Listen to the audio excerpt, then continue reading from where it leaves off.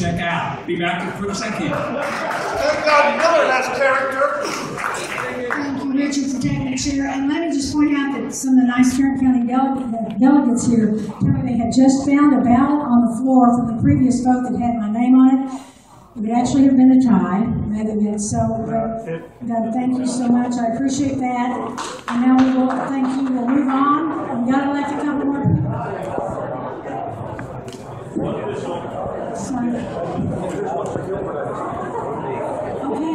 we are ready for nominations for alternate number two. Yes. Doug Miller's been nominated for alternate. Woo!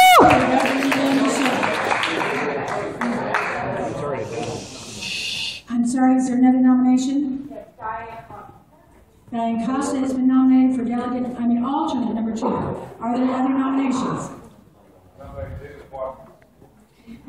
David Waters is, now, first of all, Diane, are you willing to serve as alternate number two? David Waters, where are you? Are you willing to serve as alternate number two? I'll defer mine for number, for third race, I don't want to run against. So he is running, uh, he is withdrawing his name to run for a different spot. Yes, yes, sir, your point. You know, I wish we could do that because I have been wanting to make that little trip myself. However, in the interest of trying to get through this, I prefer that we just go ahead and and try to do it as quickly as possible. Is everybody okay with that?